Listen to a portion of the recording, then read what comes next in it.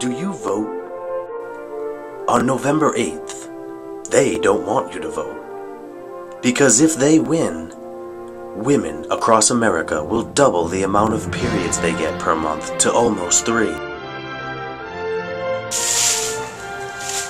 Oh, I'm voting no. I'm voting no. I'm voting no. I'm voting no on Prop 8.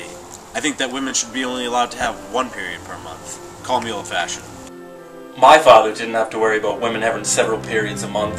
Our generation shouldn't either. I'm voting no on Prop 8 this November. I want to help eliminate useless periods in our schools. This country was built on freedom, not just girls having their periods whenever they feel like it. On November 8th, I'm voting no. I'm voting no. I'm voting no on Prop 8.